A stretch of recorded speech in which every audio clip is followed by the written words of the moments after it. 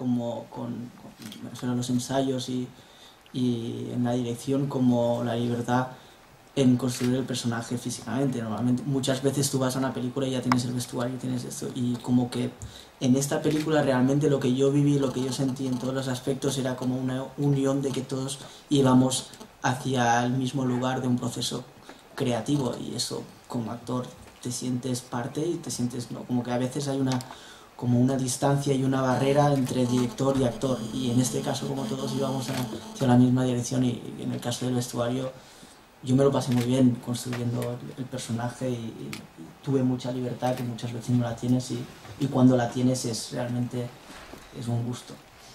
Hicieron un gran trabajo. Es cierto que el vestuario es importantísimo y vital para, para nuestro trabajo. De todos modos, yo pienso que para cualquier persona, ¿no?